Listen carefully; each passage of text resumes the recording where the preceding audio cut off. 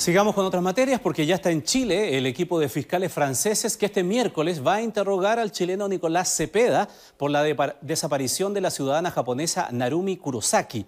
El caso ha generado conmoción tanto en el país asiático como en Francia, por lo que cerca de una decena de periodistas japoneses aterrizó en Santiago para cubrir una diligencia que dicen será clave.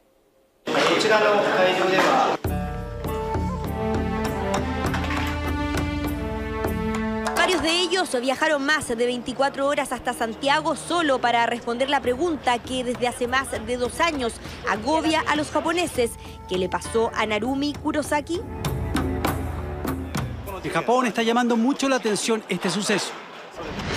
2016年にフランスに留学中の2016年にフランス東部のブザンソンで el caso de la desaparición de la joven japonesa en Francia y cuyo principal sospechoso es su expareja, el chileno Nicolás Cepeda, se ha tomado las noticias. Periodistas de ese país calculan las horas de diferencia y se las arreglan como pueden con el idioma para no perderse ningún detalle de los días clave que vive la investigación. Se dice que Cepeda la mató y que luego hizo algo, pero por supuesto que no sabemos. Por eso queremos conocer la verdad y por eso Chile es muy importante.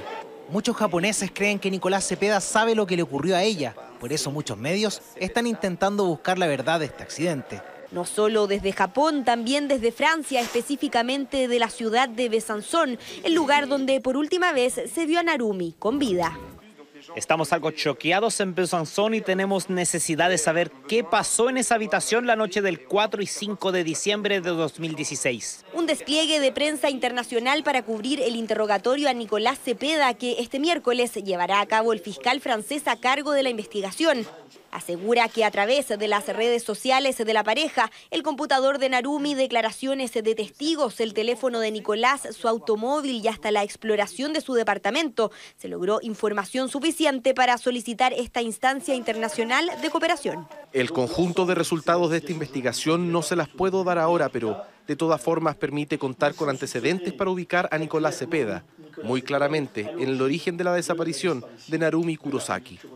Será la fiscal Jimena Chong la que haga cada una de las preguntas entregadas por los franceses, interrogatorio con el que dicen esperan aclarar la eventual participación del chileno. Después podrían pedir su extradición.